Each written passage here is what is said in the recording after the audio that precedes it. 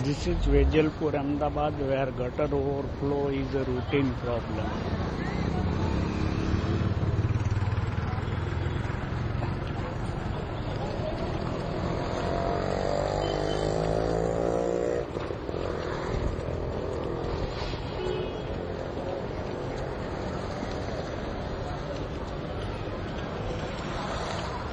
This is called development in Gujarat.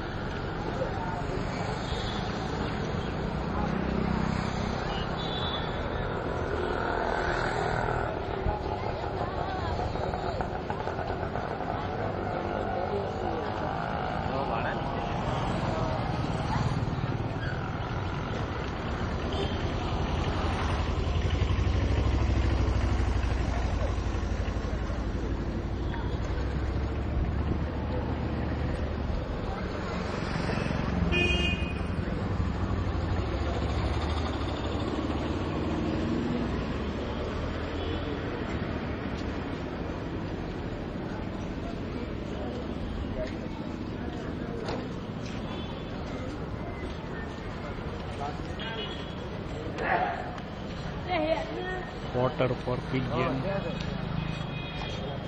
આ તમારા આજુબાજુ કઈ વિચાર થાય?